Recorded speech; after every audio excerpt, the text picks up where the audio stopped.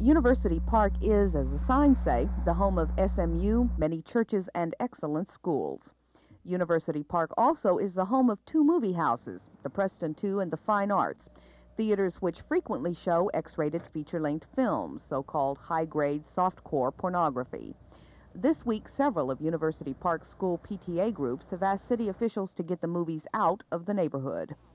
They feel that they'd rather have uh, a movie house there that would be showing films other than X-rated, where they could send their kid to the Snider Plaza on, on a weekend or take the family out to a show and uh, be able to do that. You simply can't take any children uh, to uh, the X-rated movie.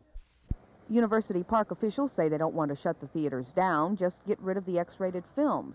Theater spokesmen say there may be some stiff complaints to that idea from some of the theater's clientele. I'll get all types. It's it's regular, just like any other theater, just your top crowd and teenagers, and you know, they, of course we have to be 18 to get in, but then you get your older crowd and SMU students and things like this. Business is pretty good. It's it's average. It keeps on a steady pace. City officials question their own legal stand in the matter. They're considering rezoning the area. Some suggest just politely buying the theaters and showing old W.C. Fields and Marx Brothers films.